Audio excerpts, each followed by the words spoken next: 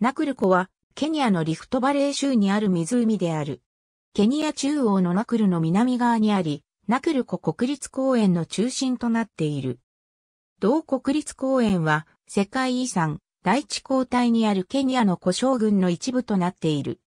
湖岸には多くの藻が生え多くのフラミンゴが飛来していたが、2000年代以降異常な水上昇が水質の中性化をもたらしもの生育を阻害。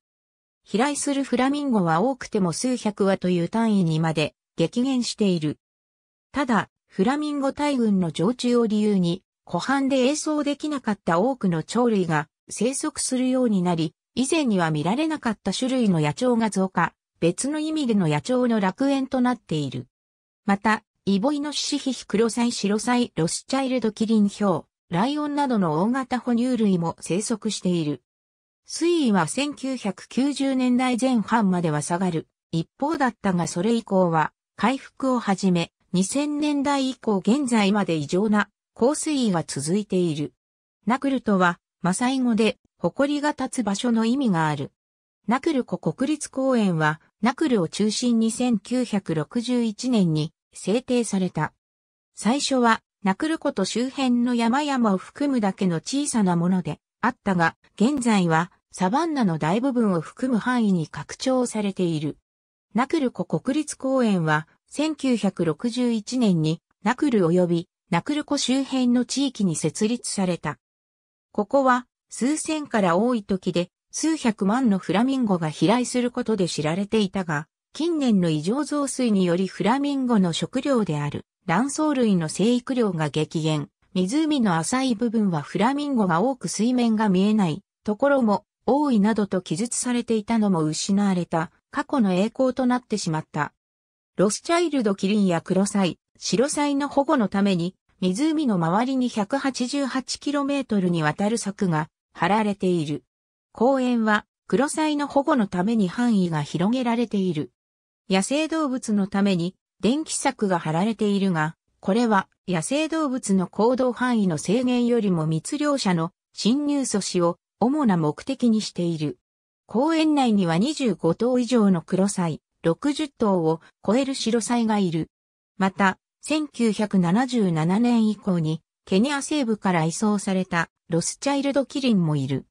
ウォーターバックも生息しており、ケニア国内にいる2種は共に公園内でよく見ることができる。ライオニやヒョウなどの肉食動物も多く存在する。深い森の中では、木にぶら下がっていたり道を渡ったりする大型のアフリカニシキヘビを見ることもできる。ナクルコのフラミンゴナクルコは、ナイロビから 160km ほど北にあるナクルの南側に位置する小さいアルカリコである。ナイロビからの観光の一部として、マサイマラ自然保護区やバリンゴ湖、サンブルなどと共に回ることがある。湖は世界一とも言われる鳥の光景で知られている。フラミンゴたちは塩湖に生える藻を食べる。科学者によれば、ナクルコのフラミンゴが1年に食べる藻の量は1平方キロメートルあたり2万5千トンという。フラミンゴは2種類いる。小型フラミンゴは大フラミンゴに比べ、くちばしが赤く羽の色も濃い。小型フラミンゴの方が数が多いため、ドキュメンタリーの映像などではよく利用される。飛来するフラミンゴの数は前日の通り激減している。